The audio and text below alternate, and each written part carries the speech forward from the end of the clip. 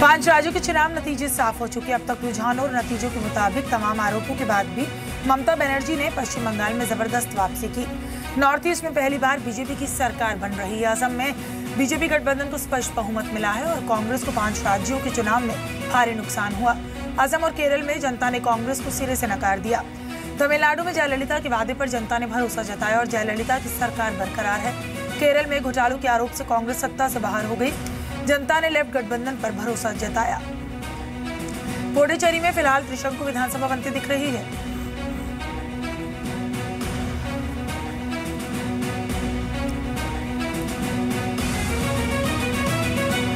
PM Modi ने जयललिता, ममता बनर्जी को जीत की बधाई दी। प्रधानमंत्री ने जयललिता और ममता बनर्जी को फ़ोन पर बधाई दी। प्रधानमंत्री मोदी ने असम में बीजेपी की जीत का ऐतिहासिक बताया।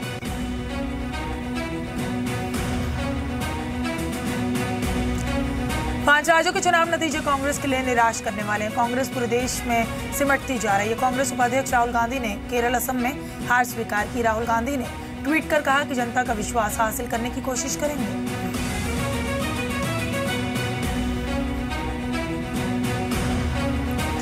नॉर्थ ईस्ट में पहली बार कमल खिला। रुझानों में बीजेपी को भारी बहुमत मिलता दिख रहा है, जबकि 15 साल से असम की सत्ता पर काबिज कांग्रेस की हालत खराब है। असम में बीजेपी की जीत में बांग्लादेशी वोटर्स ने निर्णायक भूमिका निभाई।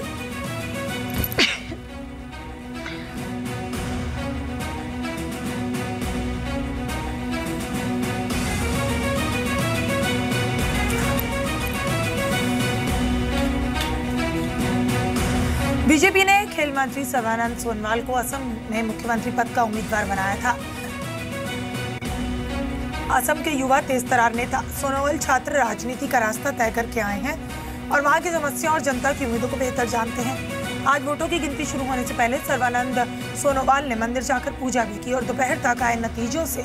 ऐसा लगा मानो ऊपर वाले ने उनकी प्रार्थना सुन ली।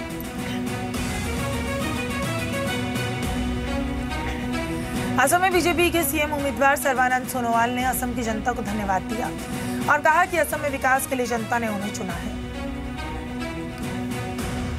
And have given an opportunity to BJP and allies partners to work for the overall growth of the state and also uh, to take up the long-standing problem of the state of Assam. So we are sincerely grateful to them.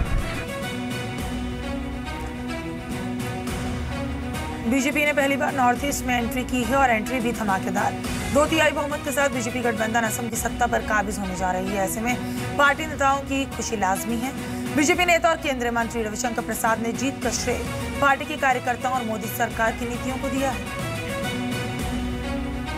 देखिए आसाम की अगर आप पूरी राजनीति को देखें तो मैं वहाँ बहुत दिन से प्रचार करता रहा हूँ, मैं जानता हूँ इस प्रदेश को। बीजेपी की ओर लोग बढ़ रहे थे।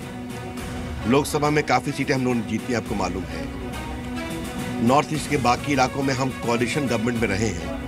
लेकिन इस बार हमें लगभग तीन चौथाई बहुमत के आसार लग रहे हैं। Upper Assam lower Assam, Barak valley, tea garden, सब जगह हमें समर्थन मिला है। इसका क्या मतलब है? इसका मतलब यह है कि वहाँ के लोग बीजेपी को एक सार्थक विकल्प गुड गवर्नेंस के रूप में देख रहे हैं।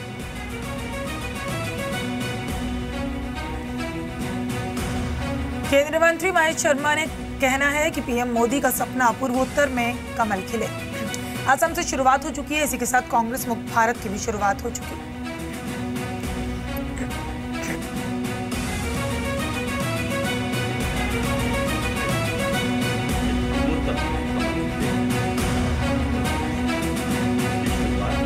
आसाम ने एक बहुत बड़ी भेंट।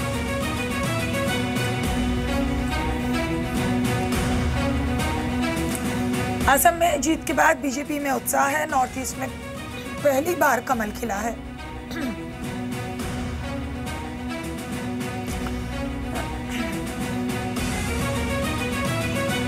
पश्चिम बंगाल में ममता बनर्जी ने एक बार फिर वापसी की है दो तिहाई बहुमत के बाद। ममता बनर्जी ने मोदी पर हमला बोला। उन्होंने कहा कि दिल्ली से डराने की कोशिश हुई, लेकिन अर्जुन की तरह विकास ही उनका लक्ष्य है। पश्चिम बंगाल में ममता की जीत से कांग्रेस और लेफ़्ट का आधारभूत ढांचा खत्म हो गया। ममता बनर्जी की जमीनी कार्यकर्ताओं की कड़ी मेहनत काम आई है।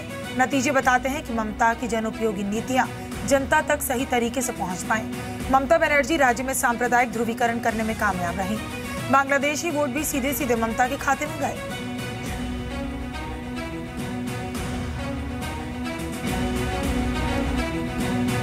जीत के बाद ममता बनर्जी से पूछा गया कि इतनी बड़ी जीत के बाद क्या वो प्रधानमंत्री पद के लिए दावेदारी कर सकती हैं? ममता बनर्जी ने कहा कि वो बड़े पदों पर भी काम कर सकती हैं।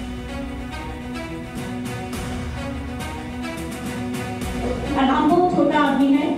हम छोटा से काम पसंद करते हैं। अगर देश का कभी काम ज़रूरत हो मैं भी रेल मिनिस्ट्री में काम किया। कोल मिनिस्ट्री में काम किया। वुमेन चाइल्ड में काम किया। में काम किया। हम सेंट्रल गवर्नमेंट में दो दिन काम करके आए तो अगर कभी ज़रूरत होगा तो हम फिर हम काम कर सकते हैं। बंगाल को काम करने से भी। लेकिन मेरे को अभी बंगाल में काम करने दीजिए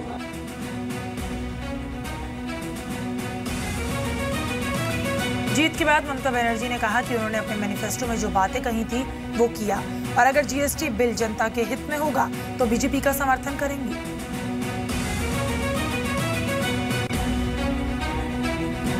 मैनिफेस्टो जो हम देते हैं ना हम हमारा वादा करते हैं। इलेक्शन का टाइम में चुनाव का टाइम में हमारा मैनिफेस्टो ही हमारा रक्षा कवच होता है। तो इसी के लिए जो वादा हम करते हैं, वो पूरा हम निभाते हैं। हमारा वादा था जीएसटी के लिए हम करेंगे। स्टेट गवर्नमेंट को कॉम्पेंसेशन करके। अगर इसमें आएँगे तो हम इसको शासित करेंगे। पश्चिम बंगाल में ममता बनर्जी की धमाकेदार जीत पर एसएल ग्रुप के चेयरमैन डॉक्टर सुभाष चंद्रा ने बधाई दी। डॉक्टर चंद्रा ने कहा कि दीदी को पूरा बंगाल प्यार करता है।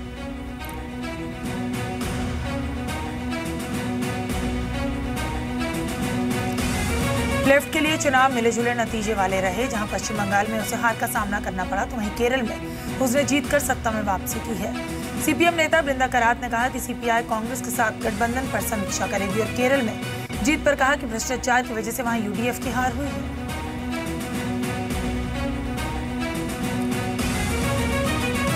केंद्रीय मंत्री प्रकाश जावड़ेकर ने चुनावों में बीजेपी के प्रदर्शन को शानदार बताया।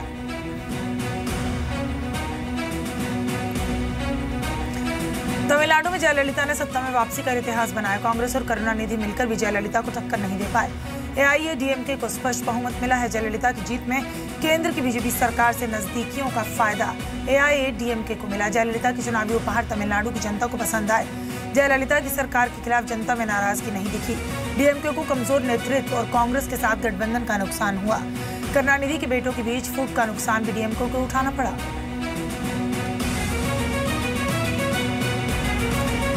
कांग्रेस के हाथ से केरल फिसल गया, रुझानों में एलडीएफ को भारी बहुमत मिलता दिख रहा है। कांग्रेस ने हार मान ली।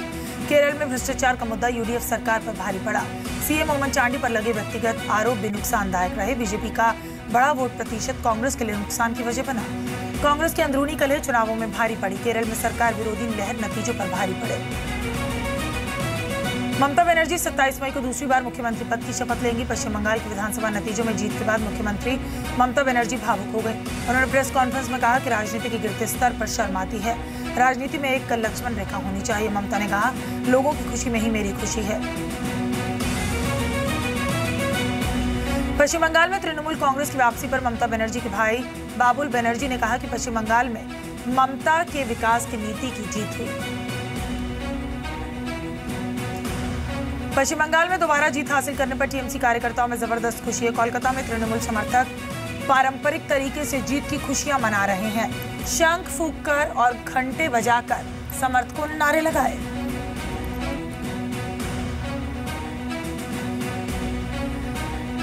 चारों राज्यों में करारी हार के बाद कांग्रेस ने प्रदेश इकाइयों को हार के लिए जिम्मेदार ठहराया। कांग्रेस नेता पीसी चाको ने कहा कि इस हार के लिए कांग्रेस नेतृत्व नहीं, बल्कि राज्यों के नेता जिम्मेदार हैं।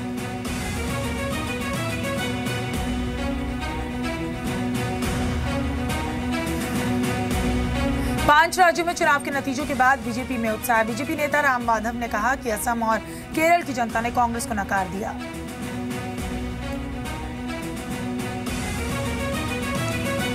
पाँच राज्यों में हुए चुनाव के नतीजे कांग्रेस के लिए निराशाजनक रहे। पाँच में से चार राज्यों में कांग्रेस का आधारभूत ढांचा खत्म हो गया। कांग्रेस के हाथ से दो राज्यों की सरकार निकल गई। पाँच राज्यों को चुनाव चार एक से हारने के बाद कांग्रेस ने कहा कि हार जीत लगातार चलने वाली एक प्रक्रिया है। अब कांग्रेस पार्टी हार के कारणों का पता लगाने के लिए आत्ममंथन करेगी। चार राज्यों में कांग्रेस और कांग्रेस गठबंधन दोनों को हार मिली। अब बीजेपी का दावा है, देश को कांग्रेस मुक्त करने का सपना कांग्रेस के उपाध्यक्ष राहुल गांधी पूरा करेंगे।